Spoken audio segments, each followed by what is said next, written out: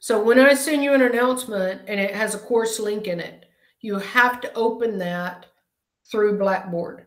You can't open that from the, it's going to want to open Blackboard. Okay. So when it says course link, that means it's a link to something in, in Blackboard.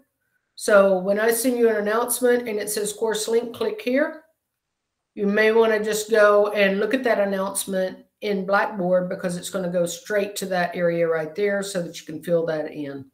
So the orientation agreement is just that we've gone over the syllabus, you understand. If you don't understand something, hang out, ask me a question, then go take it, okay? Because I'm trying to give you free points just for doing that. All right?